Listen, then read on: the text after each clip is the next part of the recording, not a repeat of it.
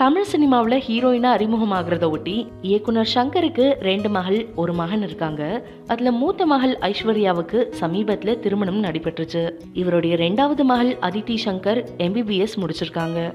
படிச்சு முடிச்சதும் நடிகர் கார்த்திக் ஹீரோயினா முத்தையா இயக்கத்துல சூர்யா ஜோதிகா தயாரிப்புல வெறுமன் படத்துல அதித்தி இன்ட்ரடியூஸ் ஆகுறாங்க. இந்த படத்துல அதித்தியோடைய கேரக்டர் ரொம்பவே வீரமான ஒரு கேரக்டர் அப்படின்னும் இந்த படத்துக்காக அவங்க ஆக்டிங் பிராக்டிஸ் எல்லாம் எடுத்துக்கிட்டாங்க அப்படின்னு படக்குழுவினர் தெரிவிச்சிருக்காங்க. சமீபத்துல ஹைதராபாத் போன அதித்தி தெலுங்கு முன்னணி இயக்குனரான ராஜமௌலியை சந்திச்சு ஆசை பெற்றாங்க. இந்த நிலையில தான் இப்போ ஹீரோயினா முதல் முதல்ல அறிமுகமாகிறத ஒட்டி சூப்பர் ஸ்டார் ரஜினிகாந்தை நேர்ல சந்திச்சு ஆசை பெற்றிருக்காங்க.